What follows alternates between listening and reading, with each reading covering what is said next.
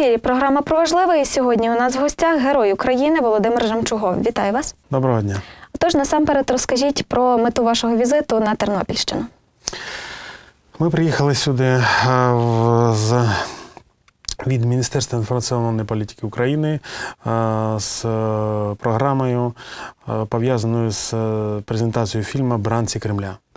Це фільм про мешканців е, українського Криму, які були не згодні з е, окупацією, з анексією Крима, виступили проти, е, зазнали тортури, зазнали арешти і були засуджені у Російській Федерації до різних сроків ув'язнення. Е, Розкажіть трошки детальніше. Ви зустрічаєтеся із студентами, я так розумію, навчальних закладів, так? Е, Да, це е, три заклади. Перше це університет, педагогічний університет Тернопіль, медицинський університет Тернопіль і коледж, військовий коледж міста Збарач. Е, Мета зустрічі це презентація фільму Бранці Кремля, розповсюдження літератури та дисків з цим фільмом, літератури е, е, історичного характеру, е, сучасної України та древньої України Київської Русі, правдивої історії України.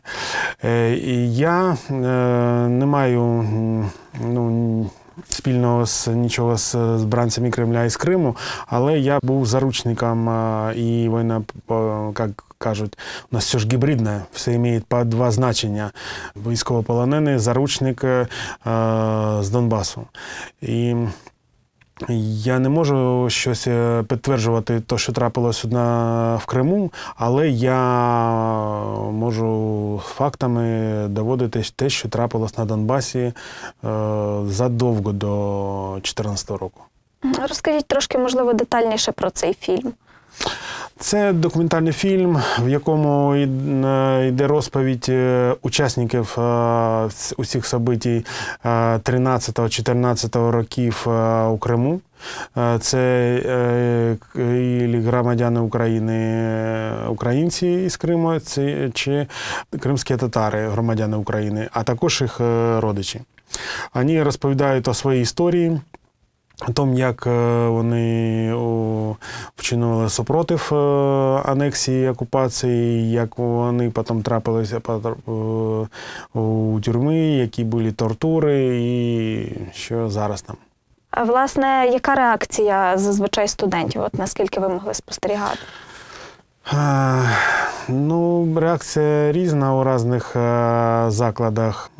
Я вважаю це дуже важливим, тому що у 13-14 роках, от цим студентам першого особливо курсу, е, їм було ну, скільки, 12, 13, 14 років. І вони ще, я думаю, не розуміли, що трапиться в Україні і що там трапилось в Криму, на Донбасі. І нам треба їм це розповідати. Тому що російська пропаганда кожен день по телебаченню, в інтернеті, в соціальних сетях розповсюджує свої фейкові інформації про громадянську війну, про референдуми, ну, все ж таке. Але ну, пусть трохи пізніше, ну, треба починати цю працю, тому що йде час і молодь приобретає опит, е, свої мнення, і треба казати їм правду. Знаємо, що ви, як е, радник міністра інформаційної політики, багато спілкуєтеся з молоддю, так? Я почав це робити ще до, е, ще до того, як став радником, е, тому що я, ви знаєте, боровся за свободу та незалежність України, за освобождення моєго дому на Донбасі від е, російських окупантів. Але зараз я фізично вже не можу е, боротися, але інтелектуально, інформаційно, я ще можу це робити. І як тільки я е, почув себе е, сили і після лікування я направив всі свої сили на роботу з молоддю, тому що вже е, покоління, там моє покоління, там більшою частю і старше, вже тяжко їх з ними працювати. А молоді ще можна розповісти правду і, направити і навчити їх думати, саме там, щоб вони е, могли, могли сравнивать и думать и задавать вопросы, а не так, как мы в советское время только получали информацию от коммунистической партии и не имели никакого альтернативного мнения. Власне, от е, чи повністю розуміє молодь, е, що зараз відбувається взагалі в Україні от останні роки? Знаете, я а, обратил такое внимание, что на зустрічах, а, вот когда мы начали, так сказать, э, ездить по регионам, обратив э, внимание, что половина вопросов запитань, це современной ситуации. Почему там э, ситуация такая с олигархами, почему у нас там э, власть коррупционная, почему у нас не все в порядке, почему не живем как в Европе, о чем думало украинское правительство последние 25 лет, что привело нас к войне. Э, Я останавливаюся, молодь і кажу, що е, друзі, я вас прошу, зап- запитуйте по темі, е, що трапилося в Україні в 14-му, там, в 4-му році. А Я не можу відповідати за е, державу. Почему-то у молодежи, от я приїхав з Киева, вот я обратил внимание, уже в некоторых регионах, они воспринимают меня как э, Киев, значит, это член правительства, это власть. Я им говорю, что я даже не являюсь государственным сотрудником, я э, советник на громадских засадах, я даже не чиновник, даже не сотрудник. А, Я просто э, трачу свое время, э, свои силы на то, чтобы э, вы жили лучше, для того, чтобы я жил лучше, когда стану старше.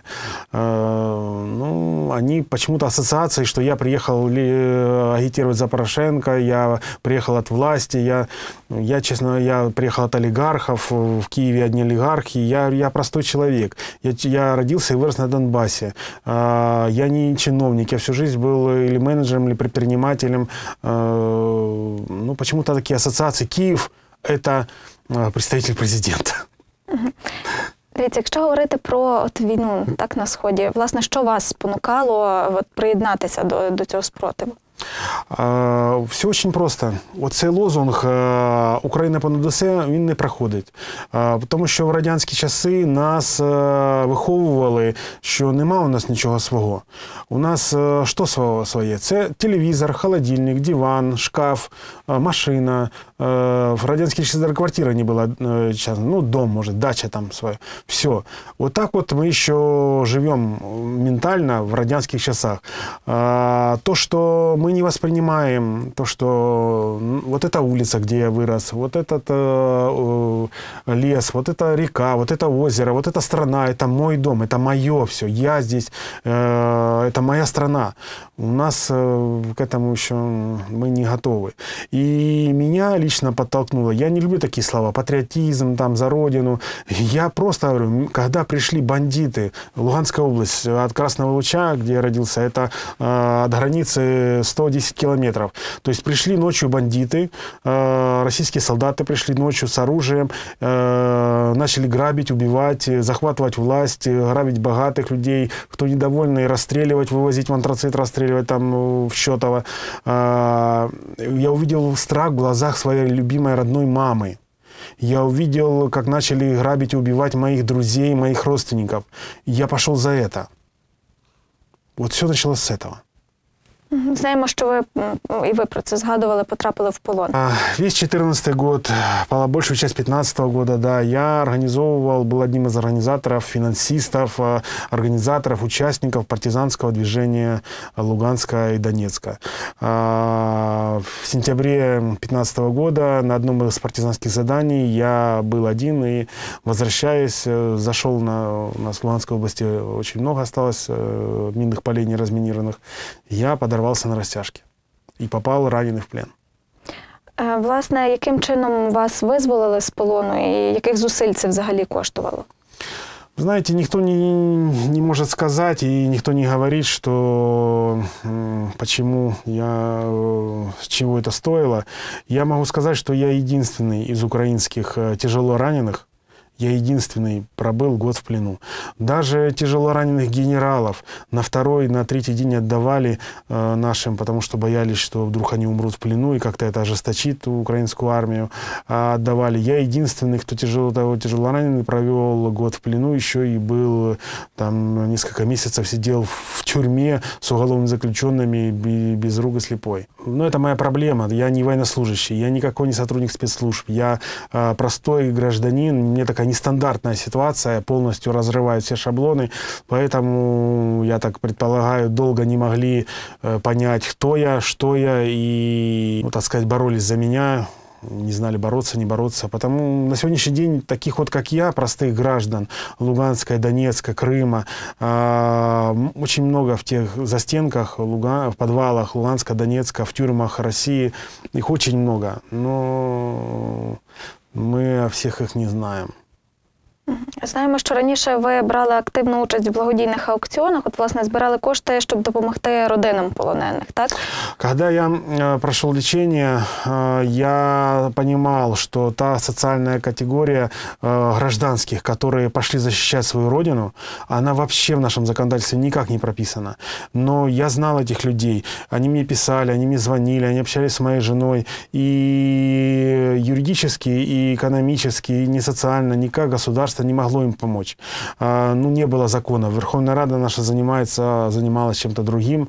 А, Об этом, вот, если только вы в курсе, на прошлой неделе только приняли первый закон, только его закона, еще надо финансирование, про- прописать программу о помощи гражданским э, жителям оккупированных территорий, которые пошли защищать свою родину. Только в 2018 году вот что-то вот сейчас и приняли. И я видел, какая-то дыра большая, люди нуждаются, нужны деньги на адвокатов, нужны деньги на передачи, нужны деньги им родным, которые здесь остались без кормильца, которые начали болеть, у них начались онко- онкологические заболевания. Я поднял э, тему э, аукционов, чтобы как-то э, закрыть этот вопрос. Но когда я окунулся в эту тему, я понял, что это не какая-то там дыра финансовая, это просто громадная яма. Этих людей тысячи, и их невозможно помочь аукционам. Это должна быть системная государственная державная праця. Власне, на вашу думку, як можна допомогти таким людям, таким родинам? Взагалі, які зміни потрібні? Державна програма. Потрібна державна програма, щоб наші депутати Верховної Ради е, розробили законопроект, який е, би проголосували, не тільки проголосували, а ще затверджували до цього законопроекту фінансування, і що прописали механізм, все, щоб розробили і запустили. Не так, що там ми багато зараз от таких є питань. Я е, сталкиваюсь, що про законопроект проголосували а механізм не прописали, а фінансування не, не дали, і все. І це якась фікція якась. Якщо от говорити про вас, чи відчуваєте ви якусь підтримку от зі сторони держави як учасника учасник АТО? Я не учасник АТО, я вам скажу, розкажу. Я не учасник, а учасником АТО можуть бути тільки військовослужбовці. Е, Це теж у нас дира. Е, Партизани це, е, согласно міжнародного юридичного кодексу, не, не, как оно там, незаконне вооруженне формування. Поэтому це все тільки починається. Ми тільки признали, що Росія на нас не напала, це тільки признали, що це агресія. Дай Бог, що от, е, слава Богу, що це трапилось. Е, у нас ще в попер- попереду стільки законодательно надо сколько у- урегулировать столько вопросов, что м, очень, ну, очень много работы. Это вопросы к нашим депутатам, которых мы избираем. И сейчас вот в следующем году должны избирать. Мы, дол- я как бы м, обращаюсь с помощью вашего канала ко всем э, слушателям, что задумайтесь, кого вы будете избирать в 2019 году. Я ни за какую партию не агитирую. Я просто хочу, чтобы вы понимали, э, кто вам нужен, ориентируйтесь на людей, на их историю, на их э, поступки э, и сделайте правильный выбор. Этим людям вы доверяете свою жизнь, наше будущее, наши те законы, которые они должны издать и обеспечить и вашу, и нашу всю жизнь. Ну і на завершення розмови, власне, чим плануєте займатися в подальшому? Чи є можливо ідеї якихось е, проєктів, які спрямовані, ну можливо, на молодь, можливо, не на молодь?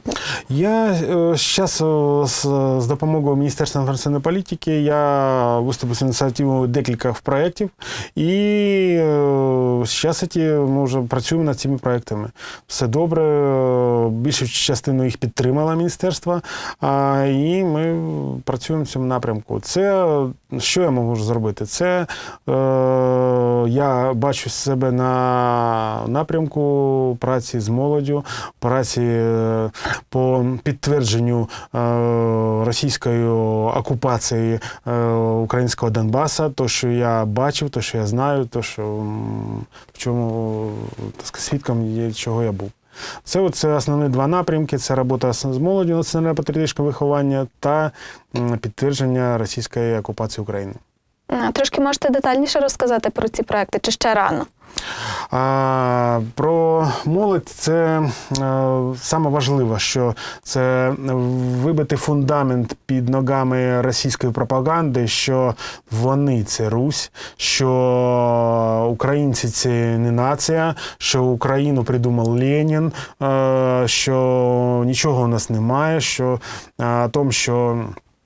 Російська імперія це е, найкраще, що Совєтський Союз це було справедливо, е, чесно, е, робочим заводи, землі крестьянам. От моя праця поставлена на розвінчуванні цих міфів російської і совєтської ідеології, так кажемо. А, також е, про війну, яка зараз іде на Донбасі з Росією, це підтвердження.